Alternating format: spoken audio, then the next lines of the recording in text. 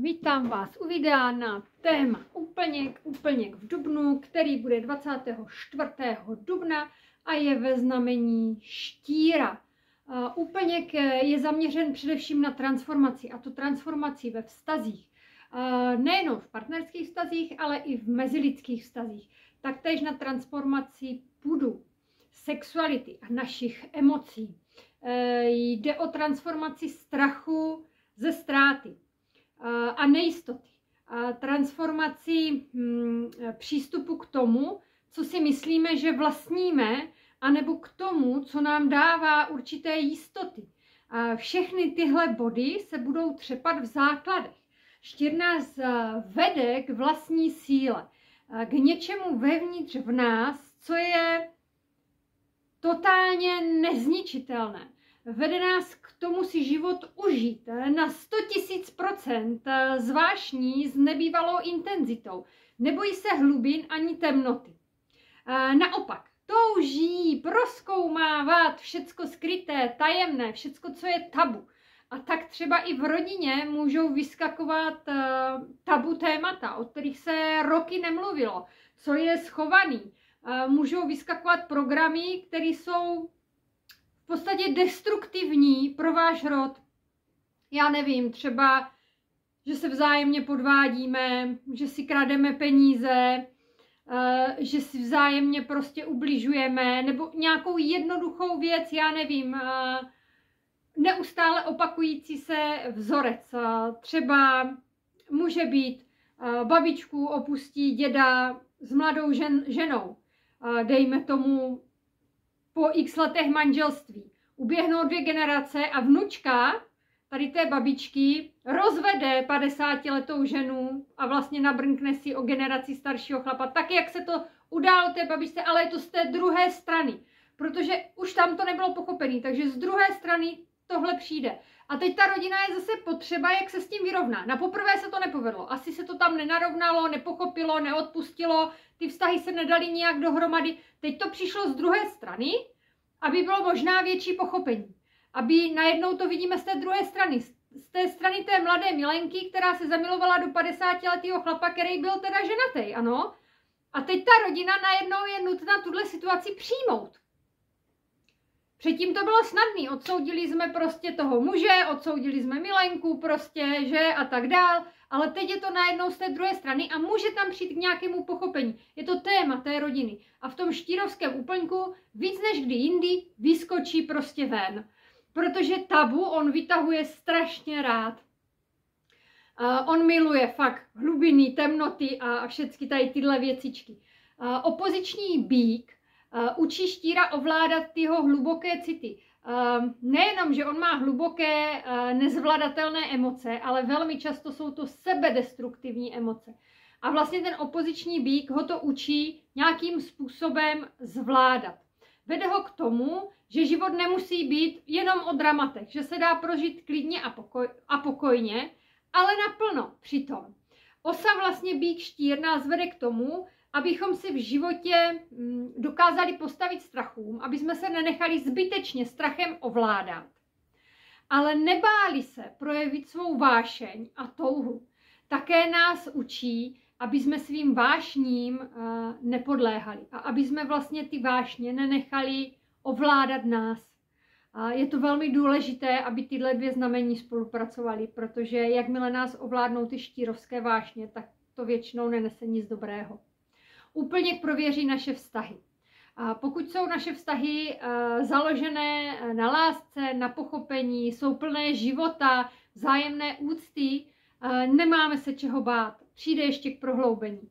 Ale pokud naše vztahy fungují pouze na závislostech, na zvyku, pak je proč se obávat, protože tyhle vztahy naprosto klidně můžou zaniknout. Můžou přijít až tak fatální hádky, že už je nebudeme moc vzít zpátky. Proto bychom měli zaměřit se během těchto dnů na kvalitu našich vztahů. Dále, z čeho se ještě tento úplně bude týkat, jsou prachy. Pozor, se kvůli ním nepohádáme, protože to jsou především jakoby nějaké společné prachy, které se jako rozdělují. Takže buď to nás může štvát, jak se je, hospodaří se státním rozpočtem a můžeme mít výlevy na internetu na to, jak je naše vláda neschopná a strašná, Nebo se ale můžeme třeba pohádat i s partnerem o našich rodinných financích, protože se nám bude zdát, že prostě partner třeba nepřispívá tolik, kolik bychom si představovali.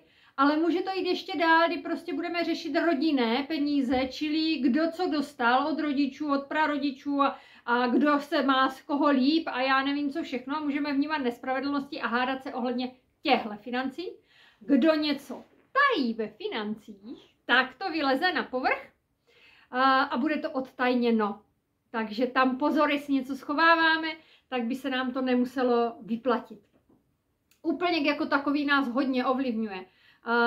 Je to hodně emocionálně vypjaté eh, období a je tady hodně negativních emocí. Lidi jsou daleko víc podrážení, jsou daleko agresivnější. Už jenom když si všímáme řidičů v úplňku, prostě jakým způsobem řídí, je více nehod, je více sražených zvířat. Opravdu to řízení máme sklony řídit daleko agresivněji, v komunikaci jsme agresivnější, jsme podrážděnější, můžeme zažívat nervozitu, někdo dokonce může mít až úzkosti.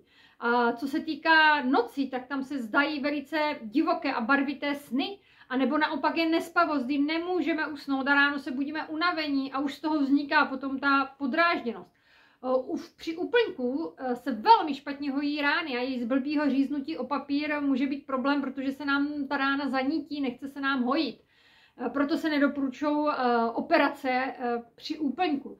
Co se týká zdraví, tak tento úplněk má vliv na pohlavní orgány, konečník, močový měchýř, močovou trubici, prostatu a kdo trpí na problémy v těchto oblastech, Měl by si je ošéfovat, držte si je pěkně v teplu, měl byste mít klidový režim, dostatečný pitný režim samozřejmě, takže opravdu přísun tekutin je zásadní, uvařte si nějaký bylinkové čaje, dopřejte si brusinky, dopřejte si granátový jablíčko, prostě všechno, co může podpořit eh, právě tu vaši problémovou, eh, problémovou oblast. Eh, Úplně ve štíru určitě bude mít obrovský vliv, protože jsou to silné emoce, navíc štír je vodní znamení, o to víc těch emocích eh, budeme nějakým způsobem eh, lítat. Je fajn eh, ho opravdu využít pro svou vnitřní transformaci. Nechtít ty transformace po těch ostatních, co tady jsou okolo nás, ale podívat se sami do sebe.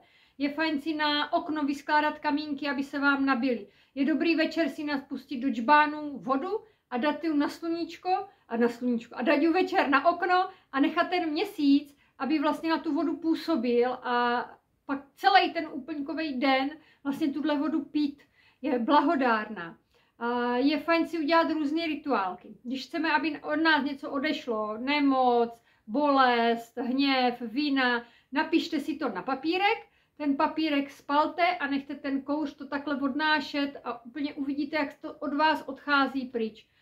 Můžete taky vít eh, ven na místo, kde hodně fouká, roztáhnout ruce a nechat vítr do vás narážet a s každým tím porivem větru jako by z vás eh, vytlačil všechno, co ve vás už nemá být, všechno, co vás trápí, bolí, kde prostě se necítíte dobře, tak to s tím větrem jakoby vyvane a vy se cítíte lehčí a lehčí. Teďka je počasí na to akorát, no u nás dneska fučí nehorázně, takže třeba bude fučet tak i toho 24. a prostě nádherně to nechat eh, pročistit, aby to z vás odešlo. Eh, při úplňku se dá dělat eh, řada rituálů, dá se meditovat. Všeobecně ten den já vždycky beru jako den, kdy se chci trochu malinko sklidnit, kdy si nechávám dost prostoru sama pro sebe, kdy ráda chodím do lesa jenom sama ze sebou, se, se svýma myšlenkama, kdy se za, zaměřují na ty témata, který nese to znamení, které vládne tomu úplňku. Čili při štírovi se budu zaměřovat na kvalitu vztahů,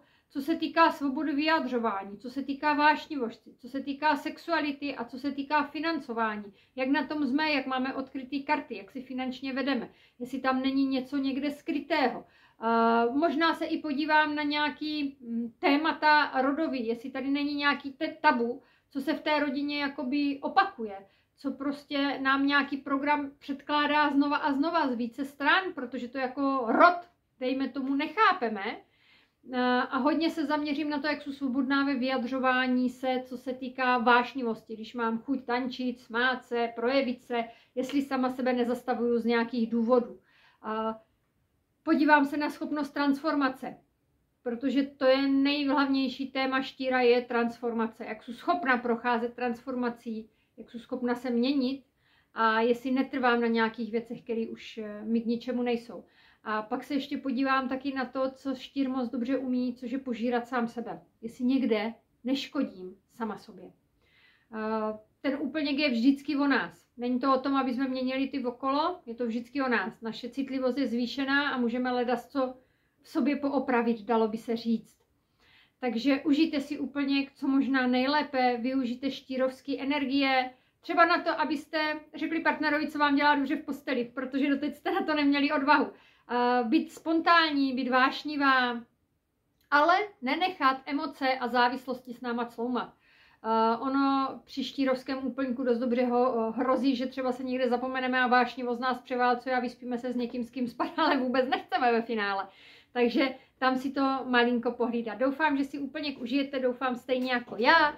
Budu ráda, když mi dáte like, když mi napíšete komentář, jak na vás úplně působí, nebo jaký zkušenosti s úplňkem máte, konkrétně třeba s úplňkem ve štírový, eh, jestli vám jitří emoce, anebo ne, jestli už to cítíte, protože já už to cítím. U nás už určitě nějaký tabu témata vyskočily o víkendu, eh, rodinný, co jsme, co jsme jakoby řešili generačně, co tady, co tady je ne, co se týká třeba přímo mě a partnera, ale co se tak nějak motá v tom rodu, takže už, už to bylo tak jakoby naznačeno. Mm, je fakt, že tam byly trošku nekompromisní jakoby slova, ale uh, pak to jsem rozdýchala, řekla jsem si, že prostě není potřeba věci řešit takovým nekompromisním způsobem, že se dějí z toho důvodu, aby jsme je nějak pobrali, pochopili a poučili se z nich. Takže nakonec eh, to bylo vzatý, jakože je to pro mě dobře se posunout, když budu konfrontována třeba s tímto tématem. Budu ráda, když vy mě napíšete, jak konkrétně se vás třeba úplněček opravdu dotkne a uvidíme se u dalšího videa. Kdo ví, jestli bude o numerologii nebo o kartičkách. Chystám na Hero Hero školičku kartiček, takže tam pak bude možnost vlastně se učit karty Lenormand. Postupně tam budu přidávat určitě i numerologii, bylinky, astrologii, všechno, co znám. A budu tam dávat konkrétní návody, takže kdo mě bude chtít sledovat na Hero Hero může. A jinak se nic nového neděje, jinak se mám dobře. Tak doufám, že se máte taky dobře.